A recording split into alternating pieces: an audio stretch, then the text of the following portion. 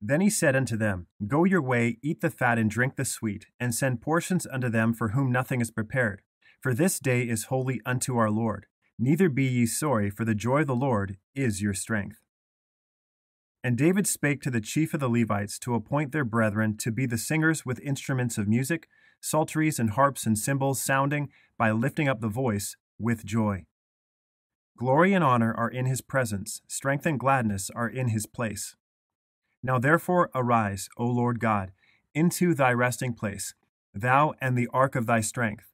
Let thy priests, O Lord God, be clothed with salvation, and let thy saints rejoice in goodness. Thou hast put gladness in my heart, more than in the time that their corn and their wine increased. But let all those that put their trust in thee rejoice. Let them ever shout for joy, because thou defendest them. Let them also that love thy name be joyful in thee. Thou wilt show me the path of life. In thy presence is fullness of joy. At thy right hand there are pleasures for evermore. The statutes of the Lord are right, rejoicing the heart. The commandment of the Lord is pure, enlightening the eyes. For his anger endureth but a moment, in his favor is life. Weeping may endure for a night, but joy cometh in the morning. I will be glad and rejoice in thy mercy, for thou hast considered my trouble. Thou hast known my soul in adversities. Be glad in the Lord and rejoice, ye righteous, and shout for joy, all ye that are upright in heart.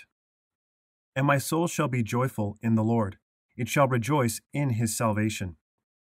Let them shout for joy and be glad, and favor my righteous cause. Yea, let them say continually, Let the Lord be magnified, which hath pleasure in the prosperity of his servant. Let all those that seek thee rejoice and be glad in thee. Let such as love thy salvation say continually, The Lord be magnified. Then I will go unto the altar of God, unto God my exceeding joy. Yea, upon the harp will I praise thee, O God, my God. The righteous shall be glad in the Lord, and shall trust in him, and all the upright in heart shall glory. Make a joyful noise unto God, all ye lands. Sing forth the honor of his name. Make his praise glorious. O let the nations be glad and sing for joy, for thou shalt judge the people righteously, and govern the nations upon earth. Selah. Let all those that seek thee rejoice and be glad in thee, and let such as love thy salvation say continually, Let God be magnified. O satisfy us early with thy mercy, that we may rejoice and be glad all our days. For thou, Lord, hast made me glad through thy work. I will triumph in the works of thy hands. The Lord reigneth.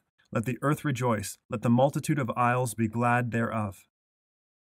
Make a joyful noise unto the Lord, all ye lands. Serve the Lord with gladness. Come before his presence with singing. The glory of the Lord shall endure forever. The Lord shall rejoice in his works. My meditation of him shall be sweet. I will be glad in the Lord. Glory ye in his holy name. Let the heart of them rejoice that seek the Lord. And he brought forth his people with joy and his chosen with gladness. The voice of rejoicing and salvation is in the tabernacles of the righteous. The right hand of the Lord doeth valiantly. This is the day which the Lord hath made. We will rejoice and be glad in it. Thy testimonies have I taken as an heritage forever, for they are the rejoicing of my heart. I rejoice at thy word, as one that findeth great spoil. They that sow in tears shall reap in joy. Let thy priests be clothed with righteousness, and let thy saints shout for joy. Let the saints be joyful in glory. Let them sing aloud upon and for our justification. If a man therefore purge himself from these, he shall be a vessel unto honor, sanctified and meet for the master's use, and prepared unto every good work. And the very God of peace sanctify you wholly. And I pray God, your whole spirit and soul and body be preserved blameless unto the coming of our Lord Jesus Christ. Sanctify them through thy truth. Thy word is joy. The light of the righteous rejoice, but the lamp of the wicked shall be put out. A merry heart maketh a cheerful countenance, but by sorrow of the heart the spirit is broken. All the days of the afflicted are evil, but he that is of a merry heart hath a continual feast. A man hath joy by the answer of his mouth, and a word spoken in due season, how good is it! The light of the eyes rejoice the heart, and a good report maketh the bones fat. A merry heart doeth good like a medicine, but a broken spirit dries the bones. It is joy to the just to do judgment, but destruction shall be to the workers of iniquity. The father of the righteous shall greatly rejoice, and he that begetteth a wise child shall have joy of him. Ointment and perfume rejoice the heart, so doth the sweetness of a man's friend by hearty counsel. When righteous men do rejoice, there is great glory, but when the wicked rise, a man is hidden. When the righteous are in authority, the people rejoice, but when the wicked beareth rule, the people mourn. Therefore, with joy shall we draw water out of the wells of salvation. The meek also shall increase their joy in the Lord, and the poor among men shall rejoice in the Holy One of Israel. And the ransomed of the Lord shall return and come to Zion with songs and everlasting joy upon their heads. They shall obtain joy and gladness, and sorrow and sighing shall flee away. Therefore the redeemed of the Lord shall return, and come with singing unto Zion, and everlasting joy shall be upon their head. They shall obtain gladness and joy, and sorrow and mourning shall flee away. Even them will I bring to my holy mountain, and make them joyful in my house of prayer. Their burnt offerings and their sacrifices shall be accepted upon mine altar, for mine house shall be called a house of prayer for all people. I will greatly rejoice in the Lord, my soul shall be joyful in my God, for he has clothed me with the garments of salvation. He has covered me with the robe of righteousness, as a bridegroom decketh himself with ornaments, and as a bride adorneth herself with her jewels. But be ye glad and rejoice for ever in that which I create, for behold, I create Jerusalem a rejoicing, and her people a joy. Thy words were found, and I did eat them, and thy word was unto me the joy and rejoicing of mine heart, for I am called by thy name, O Lord God of hosts. Yea, I will rejoice over them to do them good, and will plant them in this land, assuredly with my whole heart and with my whole soul. Blessed are ye, when men shall revile you and persecute you, and shall say all manner of evil against you falsely for my sake. Rejoice and be exceeding glad, for great is your reward in heaven, for so persecuted they the prophets which were before you.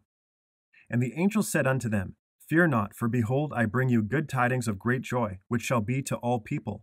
For unto you is born this day in the city of David a Saviour, which is Christ the Lord. Notwithstanding in this, rejoice not, that the spirits are subject unto you, but rather rejoice because your names are written in heaven. In that hour Jesus rejoiced in spirit and said, I thank thee, O Father, Lord of heaven and earth, that thou hast hid these things from the wise and prudent, and hast revealed them unto babes. Even so, Father, for so it seemed good in thy sight.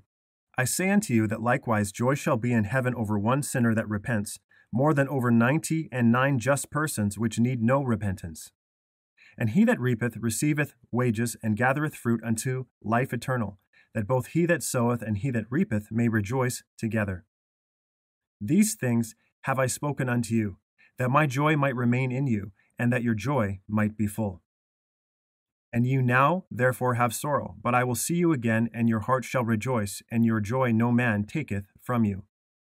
Hitherto have ye asked nothing in my name. Ask, and ye shall receive, that your joy may be full. And now come I to thee, and these things I speak in the world, that they might have my joy fulfilled in themselves.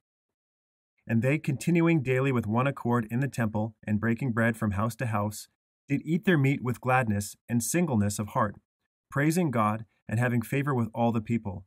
And the Lord added to the church daily such as should be saved. And they departed from the presence of the council, rejoicing that they were counted worthy to suffer shame for his name. And the people with one accord gave heed unto those things which Philip spake, hearing and seeing the miracles which he did. For unclean spirits, crying with loud voice, came out of many that were possessed with them, and many taken with palsies, and that were lame were healed, and there was great joy in that city. And being brought on their way by the church, they passed through Phoenice and Samaria, declaring the conversion of the Gentiles, and they caused great joy unto all the brethren. But none of these things move me, neither count I my life dear unto myself, so that I might finish my course with joy, and the ministry which I have received of the Lord Jesus, to testify the gospel of the grace of God. Rejoice with them that do rejoice, and weep with them that weep. For the kingdom of God is not meat and drink, but righteousness and peace and joy in the Holy Ghost. Now the God of hope fill you with all joy and peace in believing, that ye may abound in hope through the power of the Holy Ghost. Charity suffereth long and is kind. Charity envieth not, charity vaunteth not itself, is not puffed up, rejoice not in iniquity, but rejoice in the truth. But the fruit of the Spirit is love, joy, peace, long suffering, gentleness, goodness, faith. I thank my God upon every remembrance of you, always in every prayer of mine for you, all making request with joy. Rejoice in the Lord always, and again I say, rejoice. And ye became followers of us and of the Lord, having received the word in much affliction with joy of the Holy Ghost. Rejoice evermore. Looking unto Jesus, the author and finisher of our faith, who for the joy that was set before him endured the cross, despising the shame, and is set down at the right hand of the throne of God. My brethren, count it all joy when ye fall into diverse temptations, knowing this, that the trying of your faith worketh patience, but let patience have her perfect work, that ye may be perfect and entire, wanting nothing. Is any among you afflicted? Let him pray. Is any merry? Let him sing psalms. Beloved, think it not strange concerning the fiery trial which is to try you, as though some strange thing happened unto you. But rejoice, inasmuch as ye are partakers of Christ's sufferings, that when his glory shall be revealed, ye may be glad also with exceeding joy. And these things write we unto you, that your joy may be full. I have no greater joy than to hear that my children walk in truth. Let us be glad and rejoice, and give honor to him, for the marriage of the Lamb is come, and his wife hath made herself ready.